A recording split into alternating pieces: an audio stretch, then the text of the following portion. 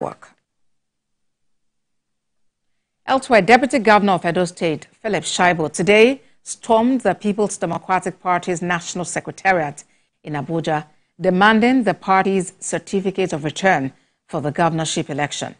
Mr. Shaibu was declared winner of a parallel PDP governorship candidate for the state, while Asue Ighodalo won the primary organized by the National Working Committee. Although the PDP had presented a certificate of return to Asue Ighodalo, Mr. Shaibu was at the party secretariat to ask for the same certificate.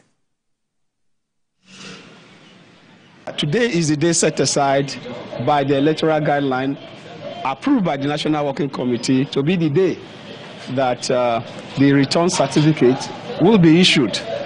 And so it's, it's, not something surprising I'm here. I'm here to receive my uh, certificate of return because I won the primaries uh, in Edo that was conducted and uh, the authentic delegates voted. I'm sure when you look at the walls of the PDP, you see the, uh, the names of all the delegates that voted for me on the walls of PDP. Uh, when the party internal mechanism is being followed, and it's obvious that uh, the party is not ready to listen, the next line of action obviously will be the judiciary. But I pray we don't get there, and that is why I came today. I'm sure in the coming days, the national chairman and others will adhere to what brought me here today. And when they do so, obviously there won't be need to go to court.